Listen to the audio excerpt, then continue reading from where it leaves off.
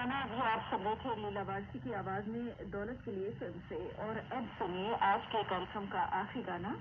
स्वर्गीय कुंदला सहगल साहब की आवाज़ में। फ़िल्म से।